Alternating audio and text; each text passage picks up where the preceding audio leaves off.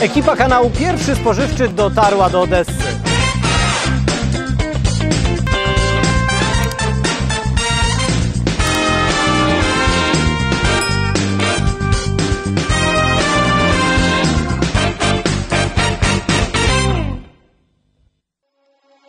To, co na mnie wieje, to bryza z nadmorza Czarnego. Znajdujemy się na schodach potiomkinowskich. To chyba najbardziej charakterystyczne miejsce w całej Odessie. Znane jest również z kinematografii. W 1925 roku nakręcono tutaj scenę do znanego filmu Pancernik Patiomkin. Dla nas, dla Polaków, Odessa kojarzy się z turystyką, z odpoczynkiem nad Morzem Czarnym. Ale ja Wam dziś udowodnię, że doskonale funkcjonuje tutaj pszczelarstwo. Tutaj znajduje się mnóstwo pasiek, tutaj również są producenci miodu. Jednego z producentów my dziś odwiedzimy i pokażemy Wam jego zakład.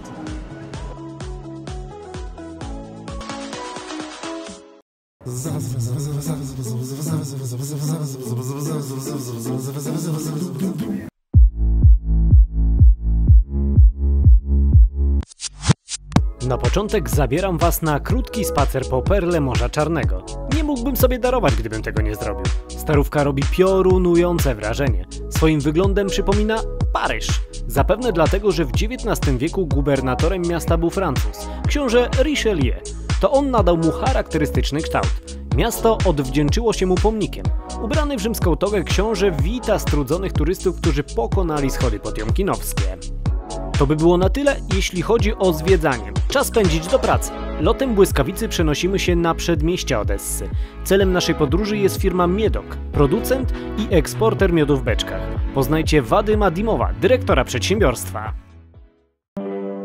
Jak się okazuje, Odessa to nie tylko morze, to nie tylko kurort, ale także rzeka miodu. Tutaj produkowany jest miód. Dlaczego akurat tutaj w Odessie e, u Was w regionie ten miód jest produ- produkowany? Co sprzyja, że, że ten miód jest dobrej jakości, jest jego tak dużo?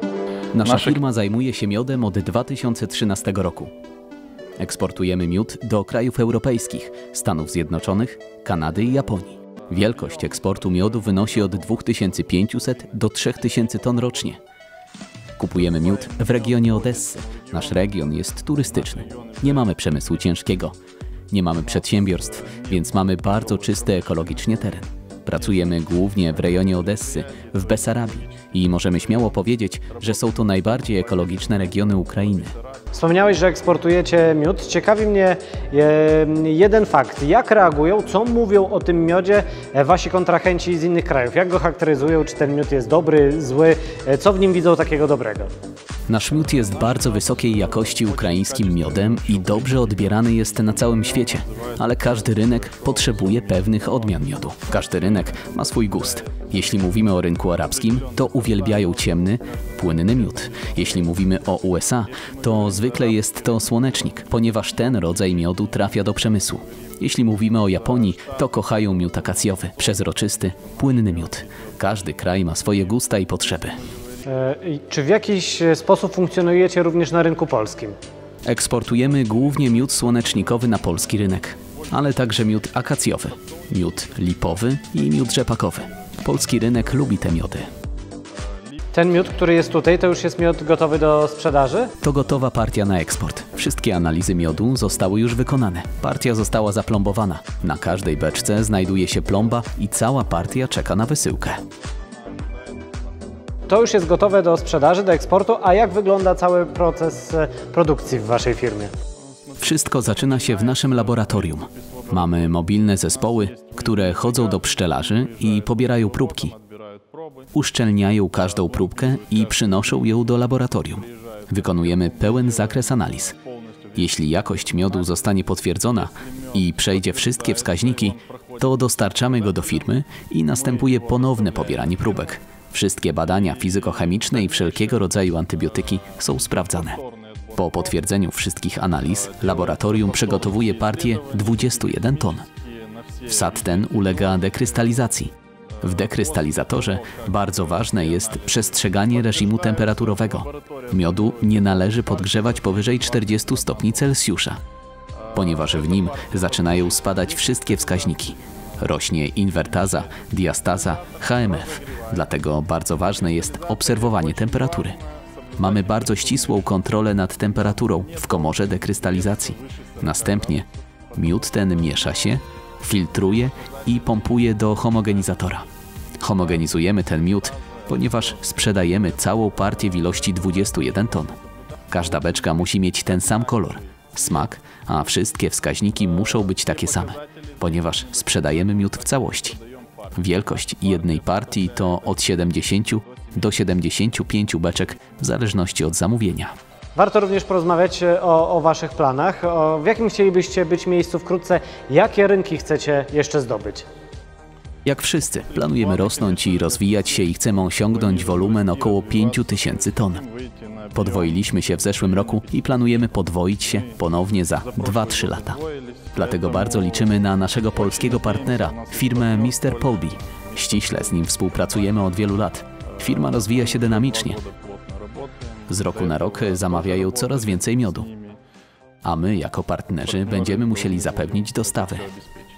Wiem także, że e, takim Waszym konikiem, taką rzeczą, do której przykładacie e, dużą wagę, są badania tego miodu. E, Stąd też Wasi kontrahenci, którzy chcą taniego miodu, nie są w stanie go uzyskać, bo dla Was najważniejsza jest jakość.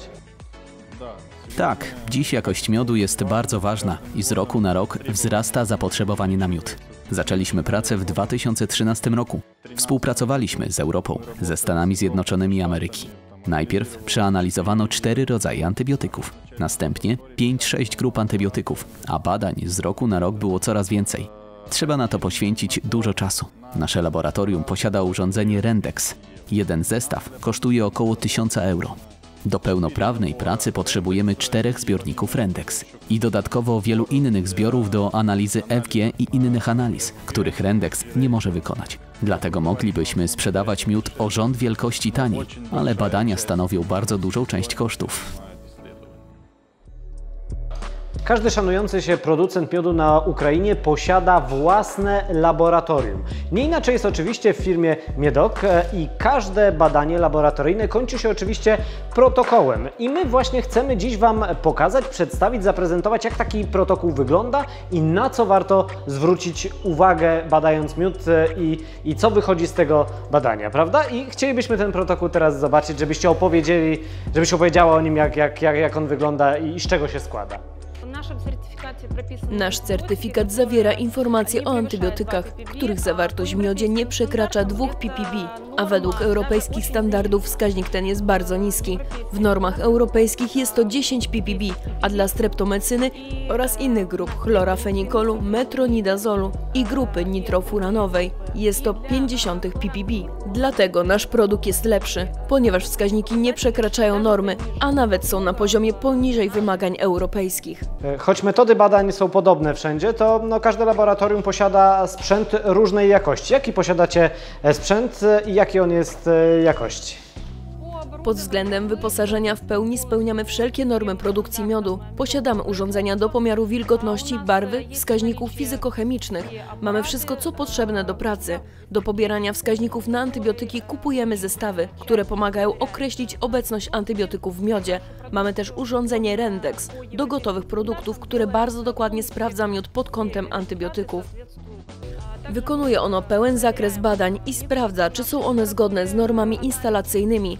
Analiz dokonujemy nie tylko w naszym laboratorium. Z każdej gotowej partii pobieramy próbki. 110 beczki gotowych produktów. Dzielimy je na trzy próbki i wysyłamy do naszego państwowego laboratorium w Kijowie, które sprawdza inne wskaźniki.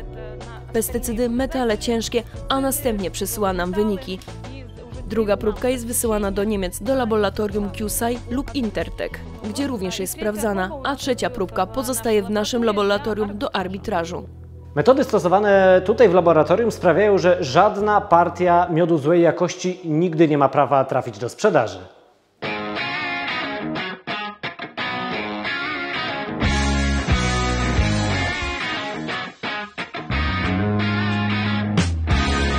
Czy pokazaliśmy Wam wszystko w Odessie?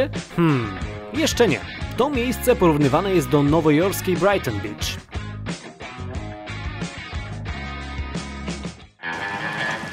Nie mogło być inaczej, musiałem zanurzyć swoje nogi w Morzu Czarnym.